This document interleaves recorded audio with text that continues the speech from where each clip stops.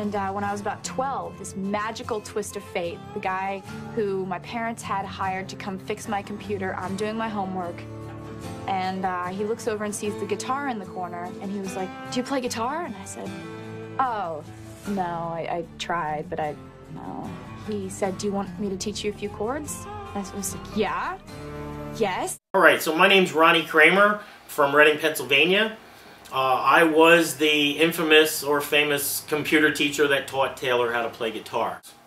First time I actually met her face to face is when the Swifts brought her to my studio and asked if I would be willing to record a demo for her. Once the demo went through and that seemed to, that seemed to work out pretty well and we got a bit of a comfort zone for each other, um, they asked me about giving her lessons.